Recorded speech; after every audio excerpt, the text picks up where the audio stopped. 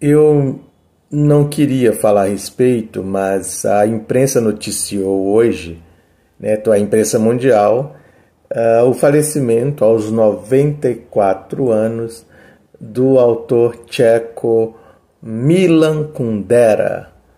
Né? Milan Kundera, que escreveu celebrado A Insustentável Leveza do Ser, A, a Imortalidade, A Vida Está em Outro Lugar, e tantos outros romances que marcam uma época.